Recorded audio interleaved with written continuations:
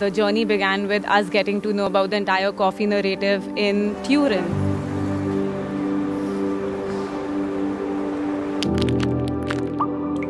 And we got to know about the delicate coffee aesthetics the Lavazza Training Center trained us on how to make coffee, which was the first time I actually made coffee using an espresso machine.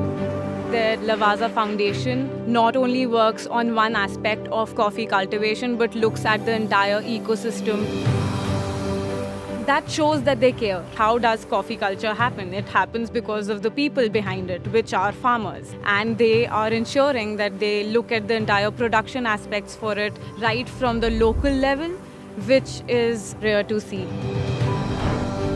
It's a universal problem in agriculture these days that the young people do not want to work in agricultural fields because they've seen their parents suffer so much.